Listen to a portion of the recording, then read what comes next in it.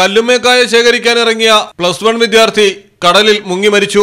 കാസർഗോഡാണ് അപകടം നടന്നത്. പള്ളിക്കര സ്കൂളിലെ പ്ലസ് വൺ വിദ്യാർത്ഥിയും ശക്തിനഗറിലെ സുബൈറിന്റെ മകനുമായ പതിനേഴ് വയസ്സുള്ള ഷുഹൈബാണ് മരിച്ചത്. പിതാവിനും സഹോദരനുമൊപ്പം കല്ലുമേക്കായ ശേഖരിക്കാൻ കാസർഗോഡ് ബേക്കൽ കോട്ടയ്ക്ക് സമീപം കടലിലിറങ്ങുകയായിരുന്നു. തിരമാലയിൽപ്പെട്ടാണ് ഷുഹൈബിനെ കാണാതായത്.